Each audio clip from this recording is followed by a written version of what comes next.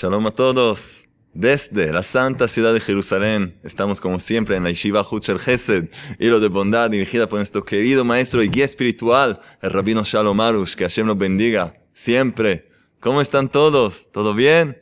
Ay, si hubiera tenido una guitarra ahora, les podía cantar. Pero no tenemos una guitarra. No, tenemos aquí un amigo con una guitarra, por eso lo digo. De cualquier manera, vamos a empezar con el chiste. Tenemos una charla muy interesante hoy, escuchen bien. Hay padres que no sé, les dan a sus hijos unos nombres que no sabes de, de dónde salieron. Una familia les nació trellizos, tres niños. Sí, bueno, y los padres decidieron llamarles con nombres muy, muy especiales. A ver, que no me olvide. ¿Cómo le llamaron los trillizos? A uno le llamaron nadie, al otro le llamaron ninguno y al tercero le llamaron tonto. ¿Qué? Sí, así fue. Bueno, crecieron los hijos, un día fueron, jugaron afuera y de pronto, ¡pum! Uno de ellos cayó en un pozo. Uno de los hermanos trató de ayudarle a salir, mientras otro empezó a correr, buscar a alguien que les ayude. De pronto encuentra a un policía. Entonces dice, eh, oficial, policía, por favor, necesitamos ayuda. Sí, ¿qué pasó? Mira, nadie se cayó en un pozo y ninguno lo está ayudando. Dice el policía, ¿tú eres tonto? Dice, sí, mucho gusto. bueno, un chiste medio tonto que nadie lo va a contar, no lo va a contar y ninguno se va a reír, pero ya entendieron. Bueno, los trillizos. Esto me envió una niña de 8 años me envió este chiste. Entonces, muchas gracias. Y bueno, entonces, nadie, ninguno y el tonto. Hay que saber, tú no eres nadie. Tú no eres nadie, cada persona es importante. Y cada persona tiene la fuerza y el poder de, de hecho, crear para sí misma un mundo de bendición, un mundo de pureza y de santidad. Está en las manos de cada uno. No digas, yo, soy, yo no soy nadie. Y de verdad, no tienes que esperar eh, que esto y lo otro que me ayude. Ninguno te va a ayudar. Ninguno te va a ayudar, solo uno. El uno y único. Tienes que dirigirte a Él. No eres nadie, ninguno te va a ayudar. Dirígete al uno. Y entonces ya vas a poder vivir la vida como se debe. No seas tonto. Esto, miren cómo el chiste está con perfección para nuestra charla. Y queremos tocar hoy un tema muy, muy importante, como todos los temas que son muy importantes, pero de hecho lo que vamos a hablar ahora es la base, la base de toda nuestra vida. La base que toda la Torah, la palabra del Creador, Pentateuco, la Torah escrita, la Torah oral, todo se apoya en eso. Todo, todo se apoya en eso. ¿De qué estoy hablando? ¿De qué estoy hablando? Enseguida van a entender. Vamos a empezar con una enseñanza del gran maestro espiritual, el médico del alma, Rabbi Nachman de Breslev, que escribió en su gran obra, el libro de Kutemo Aran, su gran obra, escribió varias enseñanzas que de hecho parece que profetizó, vio de hecho, cientos de años atrás, 200 años atrás, ya vio nuestra generación, las pruebas, las luchas que tenemos. Y nos dio el consejo, y nos dio las enseñanzas que necesitamos para poder de verdad triunfar, salir adelante y lograr nuestra perfección cumplir con nuestra misión para la cual llegamos a este mundo. Y Rabbi Nachman de Breslev, Bendicutemo Aran, la enseñanza 54, una de las enseñanzas más famosas e importantes. Enseñanza 54, en hebreo Nun Daled. Nos dice así, en la cuarta parte. Dice, nos enseña Rabbi Nachman, que cada persona tiene que cuidar, escuchen bien, cuidar lo que se llama zikaron. ¿Qué es zikaron? Su memoria. Cuidar la memoria. ¿Que no olvidar cosas? Sí, no, no olvidar cosas. ¿Qué no olvidar? Ah, hay algo que se debe de verdad no olvidar nunca. Dice Rabbi Nachman, la persona siempre tiene que recordar que existe un mundo venidero. Como hemos explicado en nuestro taller del libro en el Jardín de la Fe, ya en el comienzo del libro, recordar siempre que existe un mundo venidero.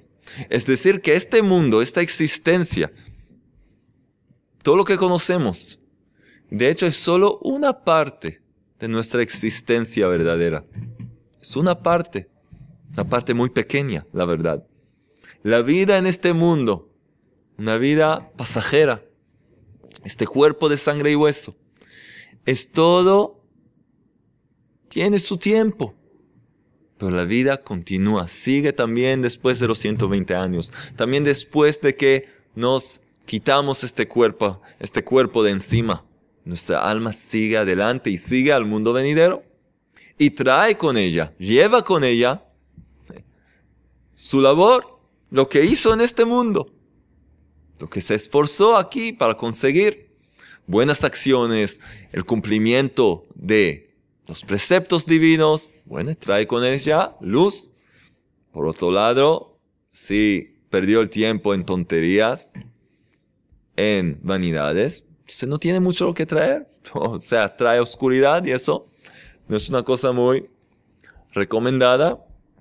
Para eso estamos aquí, para poder rectificar lo que hemos hecho, errado, y poder lograr más y más cosas buenas. Entonces dice Rabbi Nachman que se necesita cuidar la memoria, recordar siempre, recordar que, que hay un mundo venidero. Al recordar que hay un mundo venidero, poner este conocimiento frente a nosotros todo el tiempo, que esté presente, existe un mundo venidero. Hay un mundo venidero. Aquí no se terminan las cosas. Aquí solo empiezan. Estoy en una jornada, estoy en un viaje. Estoy viajando a un cierto lugar tengo que, tengo que llevar algo conmigo. Esto le da claridad a la persona y le da la fuerza para poder eh, pasar las pruebas que se presentan frente a ella, porque sabe, todo es pasajero, no tengo que asustarme, no tengo que enojarme, todo es parte de este viaje voy a tratar de hacer lo mejor posible. Y recuerdo no perder todos mis esfuerzos en vanidades, porque sé que aquí no, aquí no es mi, mi sala de estar. Aquí es un, un pasillo, como dijeron los sabios. Hay que reconocer que este mundo es simplemente un pasillo que nos lleva a la gran sala de estar, que es la vida eterna en el mundo venidero. Entonces Rabbi Nachman nos dice, hay que cuidar la memoria. Y hay que cuidarse, no caer en un estado que se llama, vamos a decir en hebreo y lo vamos a traducir, porque es importante decir esos términos espirituales en el lenguaje sagrado, para aquellos que entienden y también para los que no entienden. Tiene que cuidarse la memoria la persona tiene que cuidar su memoria y también cuidarse de no caer en un estado que se llama Ra-Ain. Un ojo malo, un mal ojo. Lo que nos hace recordar lo que se llama hacer un mal de ojo. Tiene que ver algo con eso. Enseguida vamos, vamos a llegar a eso también. Entonces, hay que cuidar la memoria y cuidarse no caer en un estado que se llama tener un mal ojo. Mirar qué, significa tener un mal ojo. Un ojo así cerrado o qué. No. Un ojo, una vista. Un punto de vista. ¿Cómo miras al mundo? Si lo miras en una forma positiva o negativa. ¿Cómo miras a los demás? lo que tienen los demás. ¿Tienes envidia? ¿Codicia? ¿Qué, qué, qué, qué? ¿Cómo tú ves el mundo que te rodea? Hay que cuidarse, no caer a un punto de vista negativo, de celos, de competencia, de pensar mal de los demás. Ya vamos a ver. Rabbi Nachman nos está dirigiendo hacia una enseñanza que nos quiere decir, ya nos está enseñando y nos dice. Vamos a ver lo que nos dice más. Entonces, dice así. Dijimos, hay que cuidar la memoria, recordar que hay un mundo venidero. Con un poco más profundidad eso significa que todo lo que me pasa en esta vida es para bien. Porque aquí todo lo que tengo a mi alrededor, de hecho, son herramientas para poder llegar a mi finalidad. Y tengo que cuidarme de no caer en un estado de ra'ain, mal ojo. Es decir, ver las cosas de una forma positiva.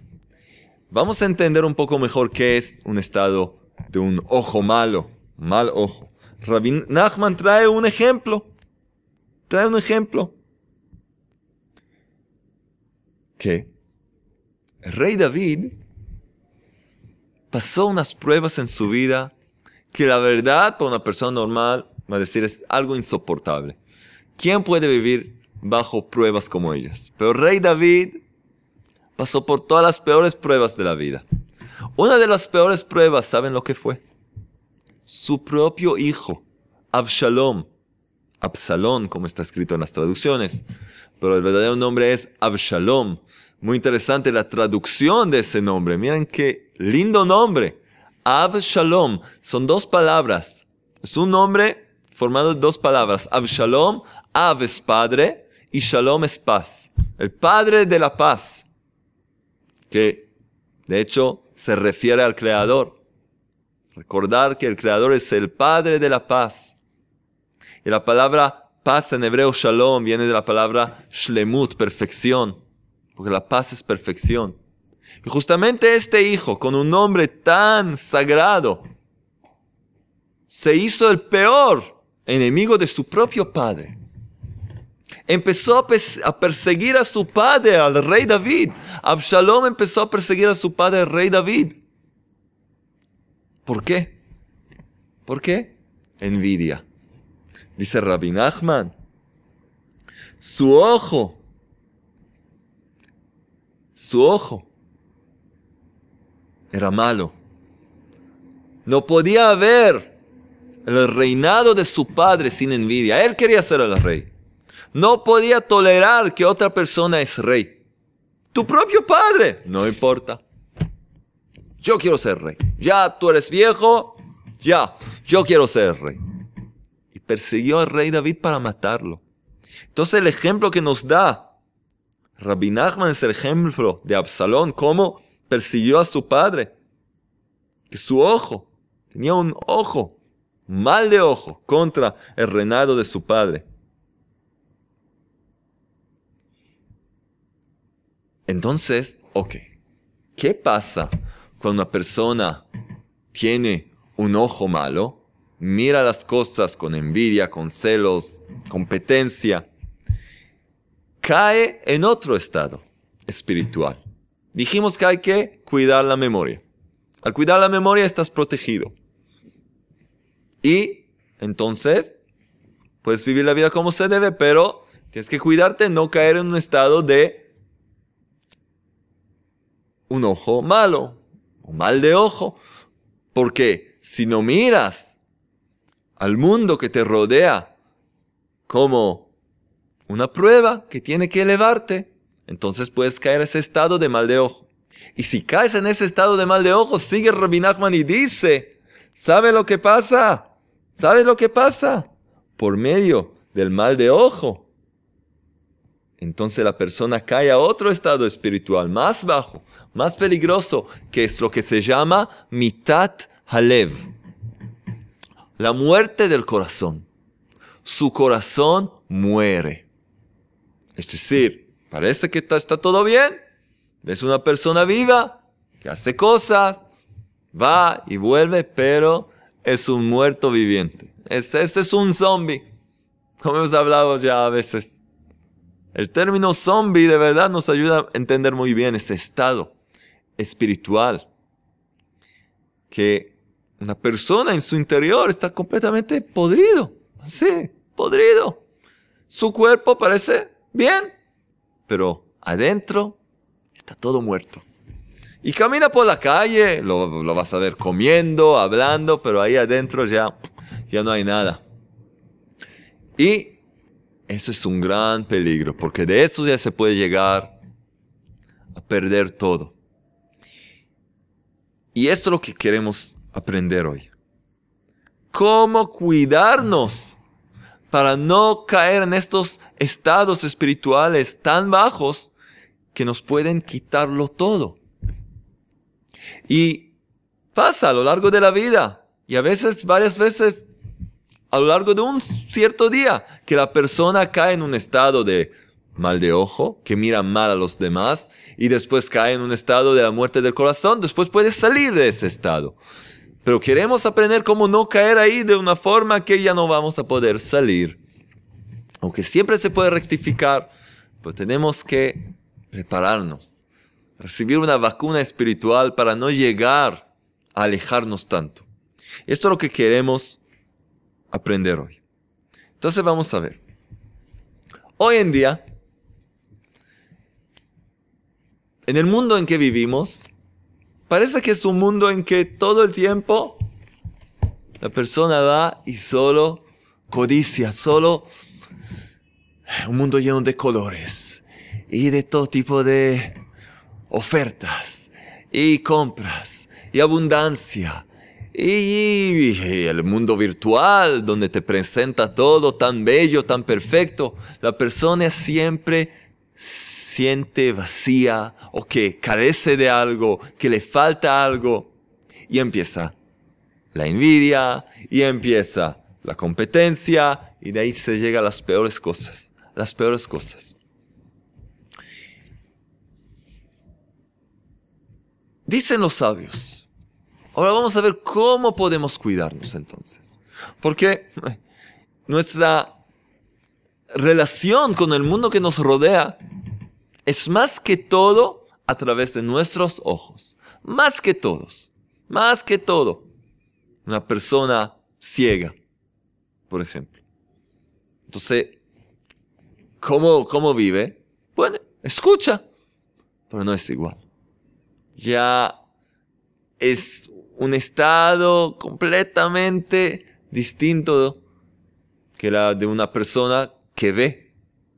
Porque todo lo que tenemos el intercambio que tenemos con el mundo es a través de los ojos. Vemos, analizamos, respondemos, todo, todo a través de los ojos.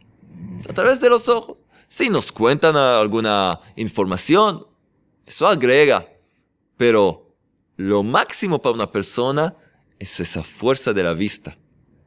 Es muy interesante que el Talmud, cuando los sabios quieren enseñar alguna enseñanza, dicen en arameo, Tashma ven y escucha. Quiero enseñarte algo. Ta es ven, shma, y escucha. Quiero que escuches algo. Y empieza una enseñanza, una prueba para algo. Bueno, en el sagrado libro del Zohar, los sabios ahí hablan de otra forma. Dicen ta hazé. ¿Qué es ta hazé en arameo? Ven y ve. El libro del Zohar ya tiene un nivel más profundo después de estudiar bien todo el Talmud, la parte de la Mishnah, la Gemara. Entonces, la persona que vive según las enseñanzas de la Torah llega al estudio verdadero del Zohar, no, lo que hay hoy en día. Todo tipo de máquinas para hacer dinero. Te voy a enseñar Zohar y Kabbalah. ¿De dónde? ¿Qué, ¿Qué, tengo yo? No estoy en un estado de impureza. No, no, te voy a. Hablamos de verdad. La persona ya llega a un nivel en que puede estudiar el Zohar y la Kabbalah de verdad, entonces ya es otro mundo un mundo visual, en que puedes experimentar las enseñanzas de una forma en que, de hecho, puedes ver esa realidad. Es tan fuerte y verdadero que supuestamente lo puedes ver. Entonces la fuerza de ver, de la vista, es lo más poderoso que tiene la persona. Entonces dicen los sabios, escuchen bien, una regla espiritual. Entendemos que los ojos es de hecho que tenemos para poder conectarnos con el mundo de nuestro alrededor más que todo.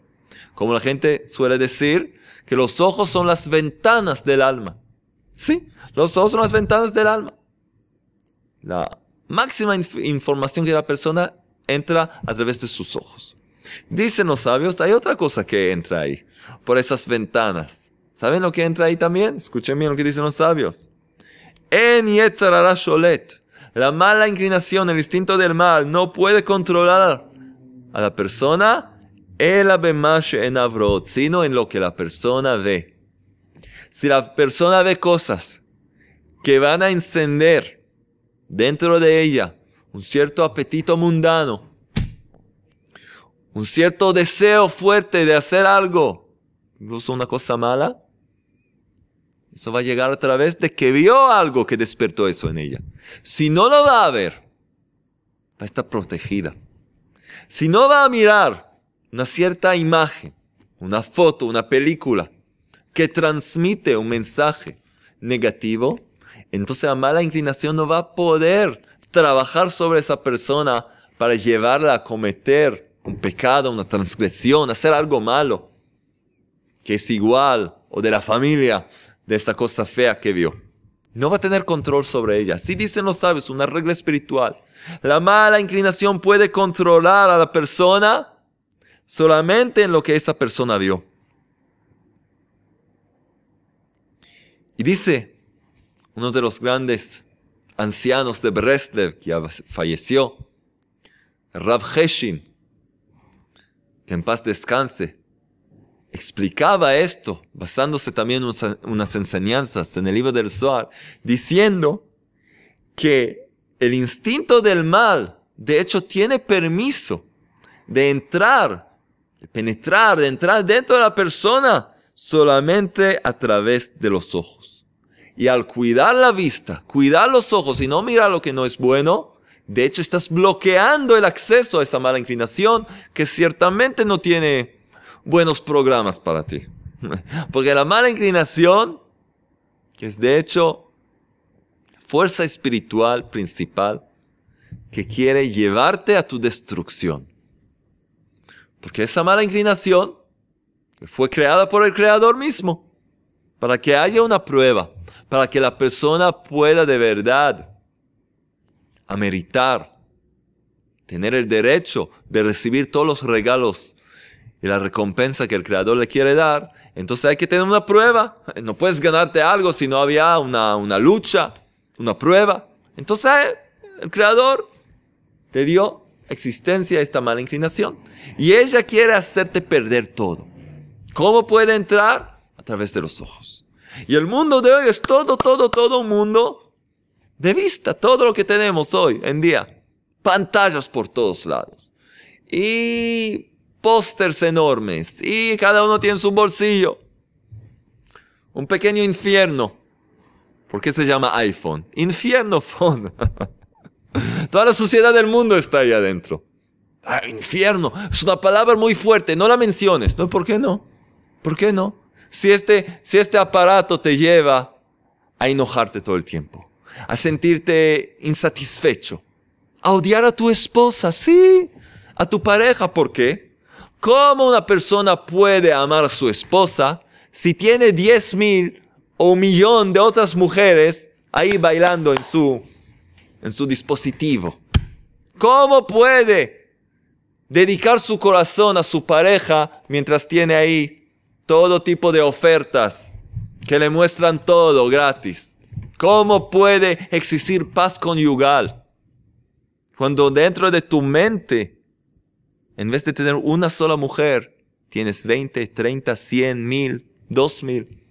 Sin querer, no por buscar, porque simplemente navegando, navegando por el espacio virtual, saltan todo tipo de cosas.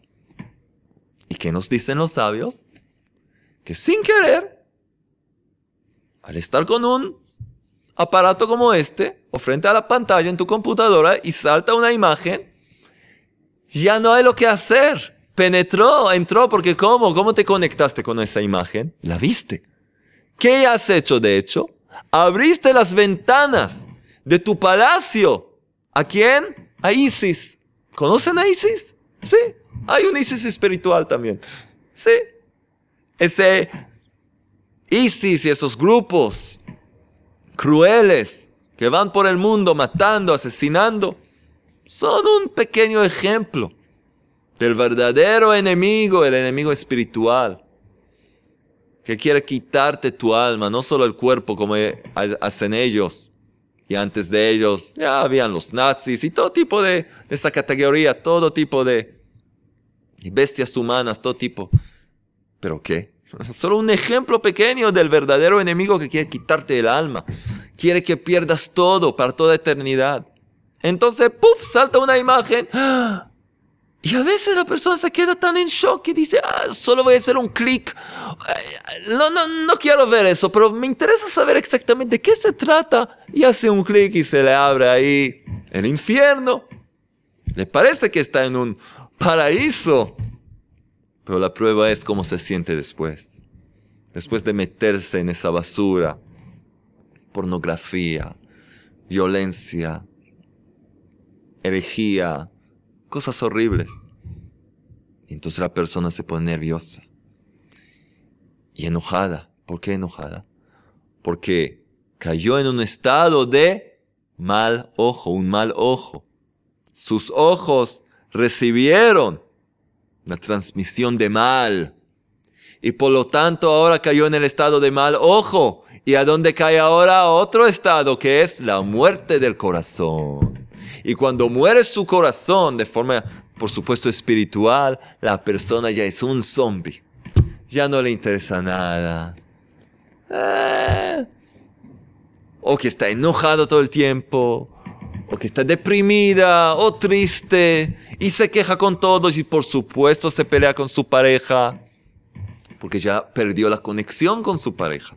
Porque entraron ahí todo tipo de todo tipo de competencia y, y ya no hay paz conyugal y se pelea con sus hijos y con su jefe ya, y hasta llega a las peores cosas posibles.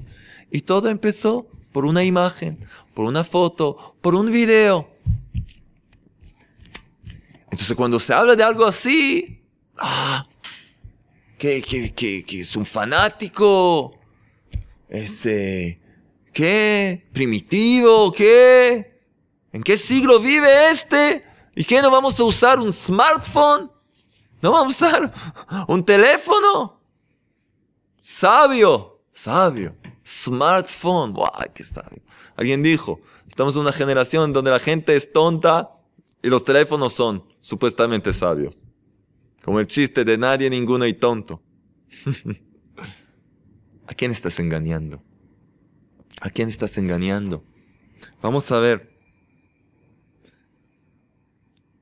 El resultado de lo que estamos hablando es que incluso caminando por la calle hoy en día, lo que no existió unos siglos atrás, mucho menos, por lo, menos, por ejemplo, por lo menos decir así, vas por la calle, hoy en día, en el verano, la, la calle es como una playa, normalmente, vas por la playa, ¿dónde está el agua? ¿Dónde? No, está muy, pero aquí es como una playa. Más o menos, ya entienden de lo que estoy hablando. Y la persona, para ir de su casa hasta un almacén, o incluso, escuchen bien, de su casa a la sinagoga, para alabar al Creador, para rezar. En el camino, lo que vio con sus ojos, ya un corazón no existe ahí en esa persona. Y cuando entra en la sinagoga, quiere abrir un sidur, un libro de rezos, o los salmos, siente que ah, no, puede, no puede aguantar. No puede, no puede escuchar un shiur, una clase, no, no, no, no, puede. Le da ganas de, de, de patearlo todo. No puede, ¿por qué? Porque murió su corazón. La muerte del corazón. ¿Y cuál es el resultado de la muerte del corazón?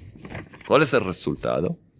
Si el corazón está muerto, bueno, espiritualmente hablando, por supuesto. Si el corazón está muerto físicamente, la persona está muerta completamente, ya lo sabemos.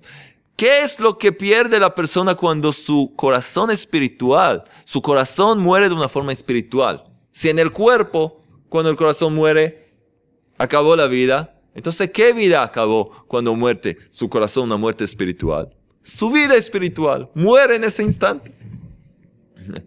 Y hay que hacer un gran esfuerzo para reavivarla, traerla de vuelta.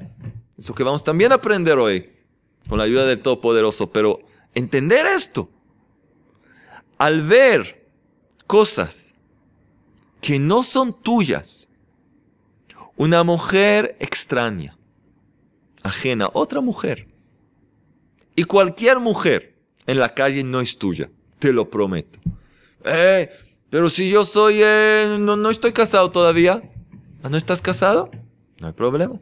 Y quizás es una de ellas. Ok. Entonces te voy a explicar algo. Para los solteros ahora. Entre paréntesis. Si tú piensas que vas a poder encontrar tu pareja por navegando con tus ojos en la calle o en todo tipo de fotos ahí, por Facebook o por no sé qué book hay que hay ahí, te prometo que tu verdadera pareja no la vas a encontrar. Te lo prometo. Ay, pero hay muchos casos. Que sí, quizás que hay algunos casos, sí. Pero si esta es tu forma de buscar, no vas a encontrar de esa forma. Y si vas a encontrar a alguien, vas a ver que vas a vivir con ella, si van a vivir juntos, una vida de peleas y de luchas. ¿Por qué? Porque nos dice el rey Salomón, un versículo que dice así, nifrad. El deseo, la lujuria, sus apetitos causan de desconexión. Alejan. Si toda la conexión de dos personas es por medio de un apetito mundano, de la lujuria, entonces no va a haber conexión ahí. No va a haber conexión ahí. Porque el lado del mal no puede conectarse con nada. ¿Qué puede conectarse en el mundo, nos dicen los sabios? Solo algo que pertenece al lado del bien. Algo que es bueno puede conectarse con otra cosa buena. Porque tiene lugar para aceptar, para traer a otro. Pero el mal siempre choca, siempre está en contra de algo. Así que cuando nace algo de una cosa mala, de una conexión que está basada en el adulterio, en la lujuria. Entonces, algo bueno no pueden hacer de ahí. Va a chocar y al final todo se explota y ya estás buscando de nuevo. Entonces, esto entré como es otro mensaje. Pero lo que estamos hablando ahora, cada mujer que hay en la calle, estamos hablando a los hombres. No, no, las mujeres no se preocupen, también tenemos lo que decirles a ustedes. Pero ahora para los hombres, que su prueba es más difícil en este aspecto. Porque el hombre recibió la prueba de la lujuria y la mujer tiene otra prueba que vamos a revelar pronto. El hombre, la prueba del hombre, dice el sagrado libro del Zohar, es bajar a este mundo, este mundo bajo, llegar a este mundo bajo y luchar contra la lujuria y el adulterio que existe dentro del hombre. Esa es su prueba. Todo lo que llegó a este mundo es principalmente para luchar contra ese deseo. Ese deseo de desear a cualquier mujer del mundo. Todo lo que tiene que ver con lujuria se hace como un borracho. Esa es la gran prueba. ¿Y qué pasa entonces? Incluso una persona buena, una persona buena. Estamos hablando de malvados, no estamos hablando de gente mala, estamos hablando de personas normales, hombres normales, cualquier hombre. Solo hay que encender en él esa chispa de fuego oscuro, fuego malo, fuego de, de la lujuria y cae en esa trampa. Por eso la verdadera lucha que tiene el hombre es la protección. Es bloquear, bloquear esas cosas que le hacen llegar a esos lugares. Porque el hombre tiene que reconocer El Creador te dio esa mala inclinación.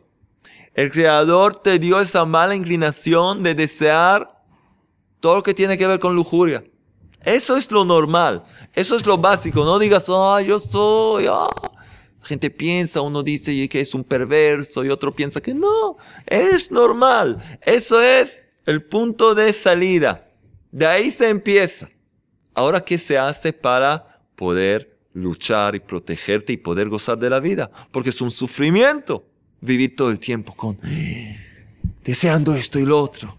Y estás casado y no puedes amar a tu esposa de verdad. ¿Eso es una buena vida? No. ¿Y qué pasó? ¿Qué pasó? Te dicen, no, ya no la amo. No, no. ¿Y qué pasó? ¿Por qué te casaste con ella? ¿Qué cambió? ¿Qué cambió? Cambió algo. Que antes la mirabas a ella todo el tiempo, te casaste con ella, empezaste a mirar a otras. Ahora las tienes a otras en tu cabeza. Y empiezas comparaciones y todo tipo de tonterías que te alejan de tu esposa. Entonces esa es la prueba del hombre, de los varones. Reconocer que tienen esa mala inclinación, ese apetito carnal de, de, de, cuerpo de la mujer y cómo se ve y esas cosas. Y las mujeres también tienen una prueba. La mujer en su esencia es atraída a la belleza. Y la mujer, lo más normal de una mujer, quiere ser linda. Quiere ser linda, quiere, quiere que la miren. la mala inclinación de la mujer es que desea que la gente la mire y diga, oh, oh empiezan a silbar. Cuando le hacen eso, dice, ay, ¿qué es eso? ¿Qué, qué, qué, qué mal educado. Pero dentro de ella existe, existe ese deseo de sentir apreciada por su apariencia. Así el creador la creó. No estamos hablando ahora contra nadie. Estamos diciendo cómo el creador del universo creó al hombre, lo programó y creó a la mujer, la programó. Y ese es un gran problema, porque el hombre quiere mirar y la mujer quiere mostrar. Y entonces, esto es problemático. Y es muy, difícil para una mujer cubrirse y vestirse de una forma más modesta, más recatada, porque tiene ahí adentro la, la, voluntad de ser linda, de mostrar su belleza. Y es una cosa hermosa. El creador creó a la mujer así. ¿Saben para qué? Para el matrimonio. Para el matrimonio. Para poder siempre atraer la atención de su esposo. De embellecerse frente a él de comprarse algo nuevo y mostrarle a él. Para eso, la energía esa que hay dentro de la mujer, hay que enfocarla en su cónyuge, en su pareja. Para eso fue creado. Y en el hombre su mala inclinación tiene que ser enfocada en su esposa, que él ama a su esposa. Él desea a su esposa, a nadie más. Así es en un mundo rectificado normal. Pero hoy en día todo está abierto, todo de todo. Entonces, ¿qué pasa? La gente sufre. ¿Por qué? Porque de hecho está cayendo en un estado de la muerte del corazón. Cuando el corazón muere, la vida espiritual muere. Y la vida espiritual consiste de todo lo bueno que hay. El amor, el verdadero amor, pertenece a una vida espiritual. Porque el amor es algo muy fino, es algo espiritual. Entonces el amor pertenece a la vida espiritual. La alegría y la felicidad auténtica pertenecen a la vida espiritual. Buenos deseos, salud, todo, todo tiene que ver con una sana vida espiritual. Y cuando esto cae, porque cayó en un estado de un ojo malo, y de ahí cayó a un estado de corazón muerto, y ahora entonces ahora también murió su vida espiritual, entonces no puede conectarse con todo el bien que hay en este mundo que el Creador quiere traerle. Esa es la gran trampa donde cae la gente. Muy interesante, dicen los sabios. Dicen los sabios algo muy, muy interesante. Dicen así, escuchen bien. Dicen los sabios que el preguntan, preguntan de hechos. En el libro de Deuteronomio dice así. Deuteronomio 11, vamos a verlo juntos. Dice así. Versículo 13 dice así. El Creador nos ordena. Deuteronomio 13, 11, perdón, 11, versículo 13 dice así. Y sucederá que si habrán de oír los preceptos que yo, el Creador, ordeno a ustedes hoy para amar al Eterno, vuestro Dios, y servirlo con todo vuestro corazón y con toda vuestra alma, entonces daré, y ahí hay una lista de premios y de bendiciones, de cosas buenas. ¿Qué dice el versículo? Y servirlo con todo vuestro corazón. Servir al Creador con su corazón. ¿Qué significa esto? Servir al Creador con el corazón. Nos dicen los sabios. ¿Qué es ese servicio del corazón? ¿Cómo, cómo puedo servir al Creador con el corazón? ¿Qué hago? Dicen los sabios, miren cómo se conecta todo. Dicen así, escuchen bien. El tratado Ta'anit 2, la primera página, dicen así. ¿Cuál es ese servicio que pertenece al corazón? Esa es la plegaria. La plegaria es el servicio del corazón. ¿Y qué es la plegaria?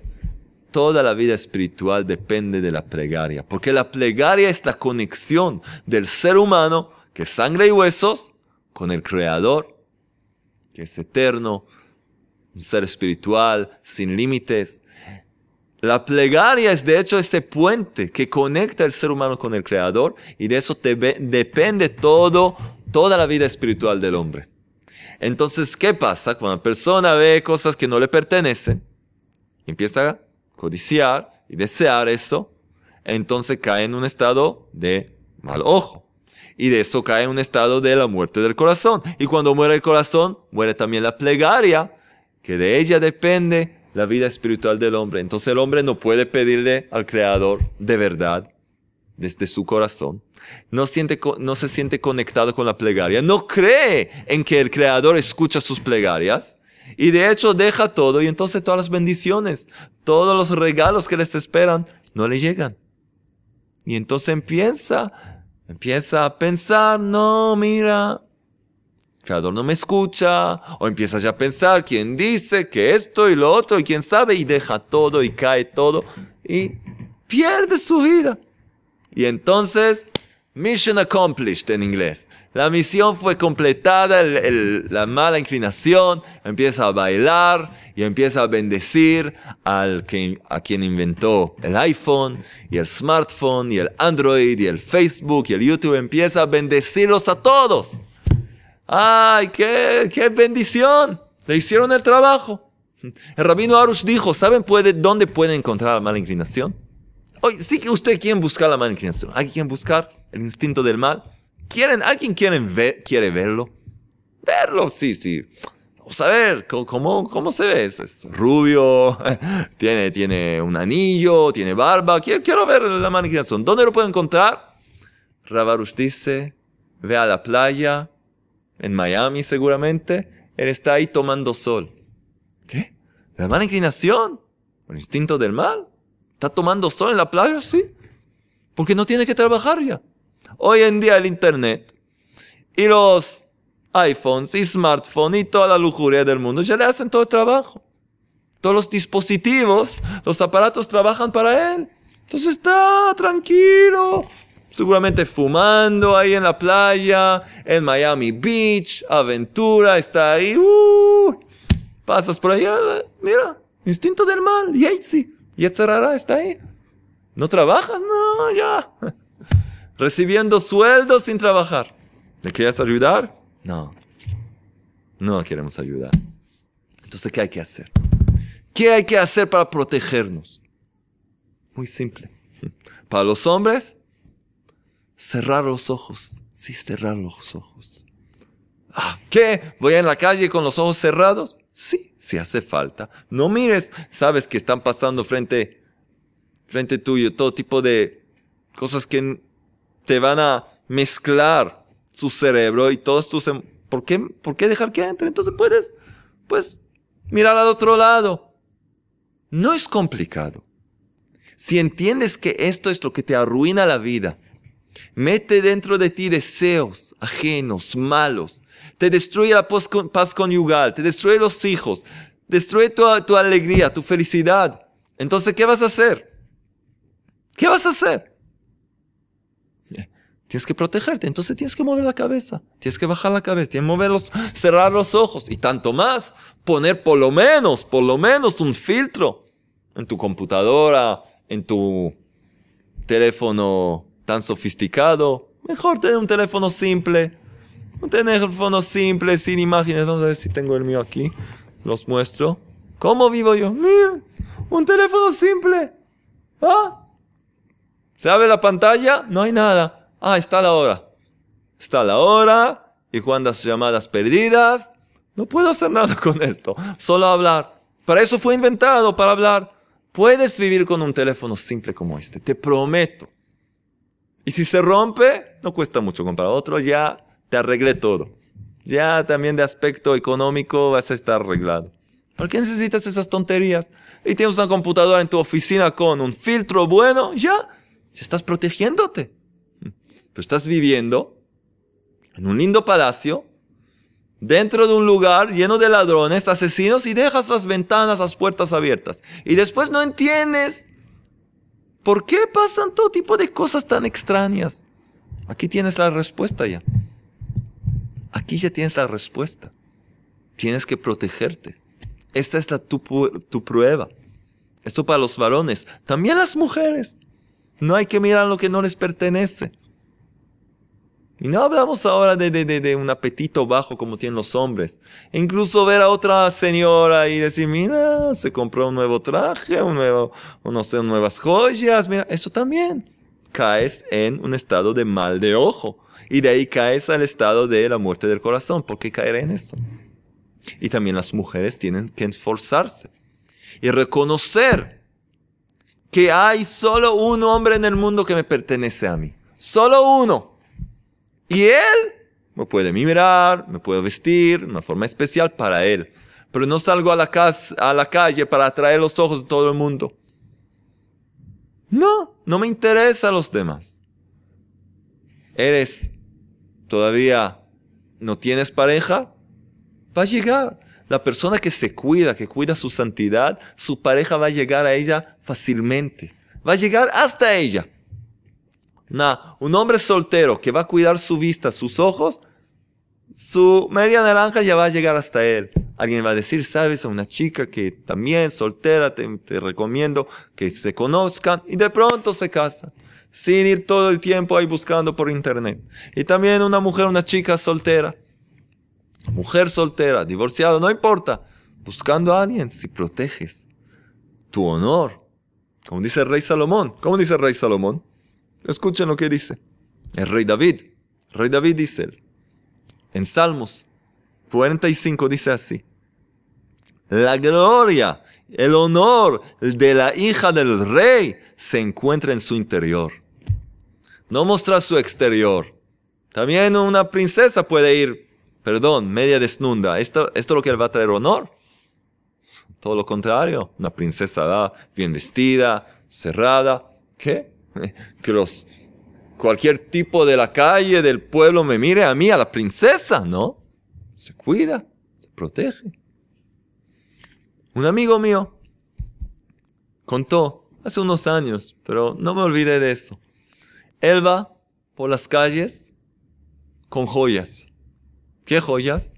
Esas joyas se llaman los libros en el Jardín de la Fe, el Jardín de la Paz, la Sabiduría Femenina, los libros los CDs de nuestro querido maestro Rabino Shalom Arush, los CDs en español también, otros idiomas. Él va por la calle y le ofrece a la gente quien quiere, quien quiere cambiar su vida. Y una vez llegó al lado de un semáforo, se pararon varios automóviles ahí, y se acercó a una ventana y mostró, y se abrió la ventana y había una señora que parece que no tenía ropa. Pobre. No tenía ropa, no tenía dinero para comprar ropa. Entonces, ¿qué? Ya entienden de lo que estoy hablando, ¿no? Hay gente diciendo, ay, pobre mujer. No, tenía dinero, pero compró ropa muy... Entonces este amigo le ofreció los libros, pero no la miró directamente. Es un hombre casado y ¿para qué tiene que meter en su cerebro imágenes de cosas que solo le van a destruir la paz conyugal? Entonces le ofreció una forma muy linda, le dijo, señora, mira, aquí hay libros muy interesantes, mira los libros, mira este libro, ella está aquí, eh, mira los libros, mira aquí, qué lindo, interesante, y sabe. Y ella se da cuenta que él no la está mirando como está acostumbrada a que la mire. Le dice, hey, tú, no me miras. Dice, no, estoy mirando los libros. ¿Qué yo soy? ¿Yo soy una rana? ¿Yo soy una rana que no me miras? Este amigo se paró Dijo, ¿qué? ¿Yo soy una rana que no me miras?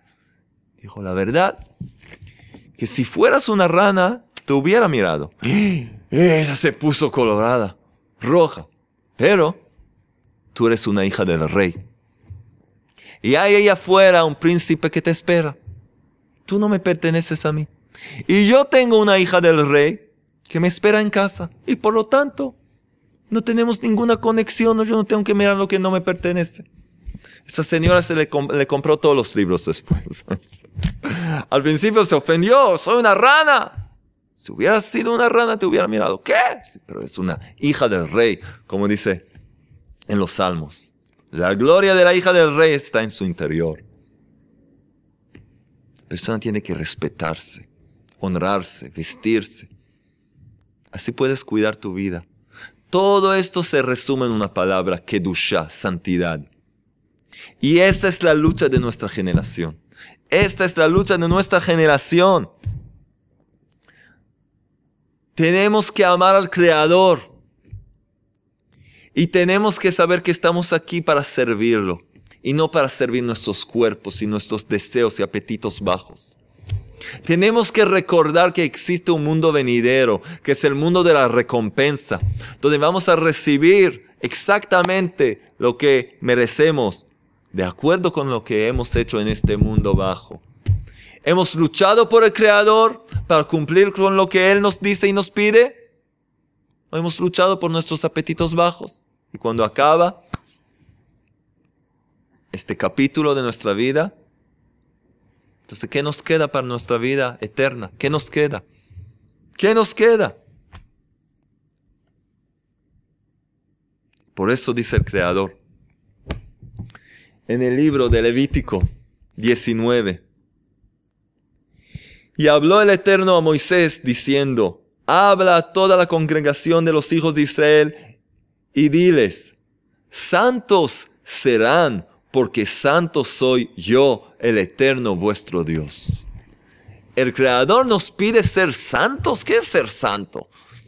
No es que hoy en día en el mundo de idolatría un santo. Santo significa tener un nivel elevado, estar más elevado de la suciedad y la basura de este mundo, elevarte, apartarte, ser de verdad un príncipe, una princesa, recordar que eres el hijo del rey, eres la hija del rey, y este mundo es un mundo pasajero en que tienes que luchar y triunfar si trabajas correctamente para lograr tu vida eterna más tarde. ¿Y cómo se lucha? Hemos dicho. Si la muerte del corazón significa la muerte de una vida espiritual, tenemos que darle vida al corazón. Y hemos dicho que los sabios nos dicen, ¿cuál es el servicio del corazón? ¿Cuál es el trabajo que puede hacer el corazón? Rezar. Tenemos que resucitar nuestro corazón, darle vida de nuevo, como a través de esforzarnos en pedirle al Creador que nos ayude. Los hombres tienen que pedir al Creador, por favor Hashem, Rey del universo, ayúdame a no codiciar, no mirar a otras mujeres, no desear una mujer que no me pertenece. Si estás casado, por supuesto que no tienes que mirar a otras mujeres, porque tienes a tu mujer en casa. Y si eres soltero o divorciado, no importa. Tu media naranja te está esperando la, quieres recibir a través de hacer en contra del Creador, que dice que tienes que ser santo y cuidar tus ojos y no ir detrás de, de tus ojos, como dice en la Torah. ¿Así vas a recibir la bendición de encontrar tu media naranja? Seguramente no. Entonces, ¿qué tienes que hacer? Pedirle al Creador, ayúdame, sálvame de no mirar lo que no hay que mirar. Sálvame de tener un mal de ojos. Sálvame de mirar lo que no necesito mirar, lo que no me pertenece. Ayúdame que mi corazón no muera. Ayúdame a estar contento con lo que yo tengo. Y la mujer tiene que pedir también, ayúdame, Rey del Universo, que yo no quiera mostrar lo que no pertenece a los demás. Que yo pueda guardar lo que me diste, la belleza natural que tengo como mujer para el uno y único, mi marido, o cuando llegue el momento de que yo lo encuentre, a mi pareja, para casarme, eso sí, ayúdame, ayúdame, guardarlo para el momento adecuado para mi esposo, ayúdame a cumplir con tu voluntad. Esta es la prueba que tienen los hombres hoy en día. Y cualquier otra cosa, como dice la Torah, unos versículos después. Dice, estamos todavía en Levítico 19, versículo 4, ¿qué dice? No se dirijan a los ídolos. Y dice Rabbi Shimon Bar Yochai en el sagrado libro del Zohar, ¿qué son los ídolos? Este versículo habla a los hombres. ¿Quiénes son los ídolos? Las mujeres, que no pertenecen al hombre. Una mujer extraña. No se dirigen a los ídolos. Un hombre casado o incluso soltero que se dirige, está mirando, observando a todo tipo de mujeres. ¿Eso es idolatría? Sí. Es idolatría. ¿Por qué? Porque estás negando lo que el Creador quiere. Estás negando lo que pide el Creador. Ser fieles. Ser fieles y ser santos. Elevados de estas tonterías, de esas vanidades. Dar un paso un poco más allá de esos instintos animales. Ser de verdad. Merecer el título de un ser humano que fue creado a la imagen del Creador. Santos serán porque santo soy yo, el eterno vuestro Dios. No hay que mirar a las mujeres, no hay que mirar lo que tienen los demás, hay que estar contento con lo que tienes y entonces todo lo que tienes te va a llegar.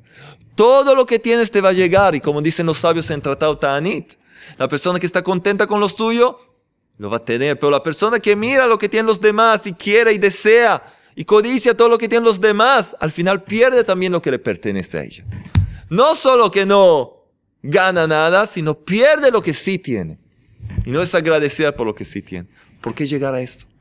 Y despertarte de pronto, ¡ay! Entonces, desde hoy en día, lo que hay que hacer, para resumir, hombres, mujeres, enfocar cada uno en la memoria del mundo venidero. Estamos aquí, es un mundo pasajero. Y no quiero que mi corazón muera. Entonces tengo que hacerlo funcionar. ¿Cómo? A través de la plegaria. Pedirle al Rey de Reyes, quien me envió a este mundo bajo, quien me dio esta prueba de la lujuria, esta lucha que existe a diario, en cada segundo, y tanto más con lo que tenemos hoy con toda la tecnología, pedirle al Creador la ayuda de poder cerrar los ojos físicamente y espiritualmente, no mirar a lo que no me pertenece, no codiciar, no querer, no desear, quitarme esos apetitos mundanos y seguir adelante, y salir adelante, y poder de verdad conectarme con el corazón, tener un corazón vivo, un corazón que pueda aceptar palabras de Torah y de espiritualidad, y de verdad lograr una alegría infinita en este mundo y en el mundo venidero para siempre. Que podamos todos lograr esto, trabajar en esto, reconocer que este es nuestro trabajo y saber que el único que nos puede ayudar es el Creador mismo, pedirle a Él, pedirle a Él, que Rabarush dice, dedicar por lo menos una media hora, sí, una media hora de tu día pidiendo por eso, por santidad, pidiendo elevarte y ser santo. Y entonces podamos de verdad cambiar nuestras vidas y ver un mundo cambiado, rectificado, poder ver muy, muy pronto la reconstrucción del sagrado templo aquí en la santa ciudad de Jerusalén, con la llegada del verdadero Mashiach, por primera vez y para siempre. Lo esperamos tanto. Tener con el mundo rectificado para alabar al Creador, que sea rápidamente y en nuestros días. Amén.